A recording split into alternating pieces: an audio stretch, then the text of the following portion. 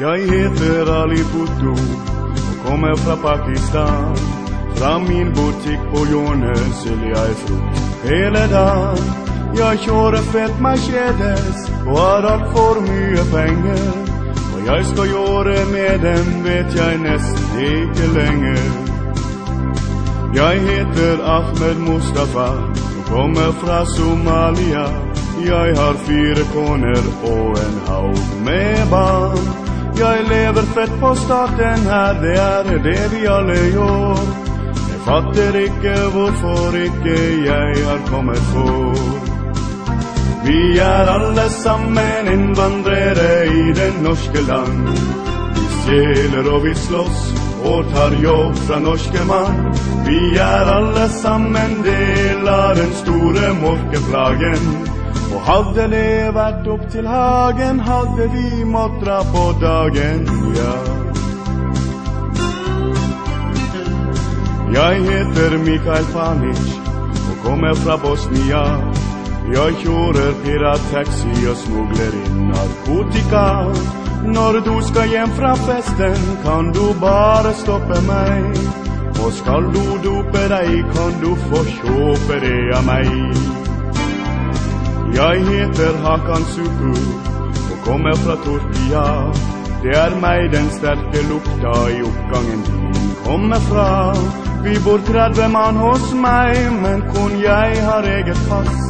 Og i morgen ventes åtte til bak i et lastebillass.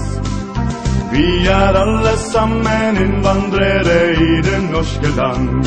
Vi stjeler og vi slåss og tar jobb fra norske mann. Vi er alle sammen del av den store mørke plagen. Og hadde det vært opp til Hagen, hadde vi mått dra på dagen, ja.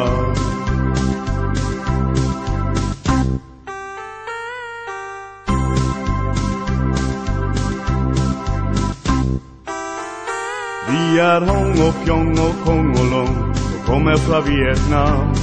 Vi driver rundt omkring i byen, vært med på masse ran. Vi er med i en ganske skummel gjeng, du kjenner kanskje oss. Det er oss polisen tauer inn hver helg fordi vi slåss. Jeg heter Ayatollah og kommer fra Iran. Sammen med en kompis selger jeg kebab som bare faen. Skjorte det er ekte nok fra bakgata vår. Er katta di blitt borte, sjekk munnen din for hår. Vi er alle sammen innvandrere i det norske land. Vi stjeler og vi slåss og tar jobb fra norske mann. Vi er alle sammen del av den store mørke plagen. Og hadde det vært opp til Hagen, hadde vi mått dra på dagen, ja. Alle sammen, kom igjen! Vi er alle sammen innvandrere i det norske land.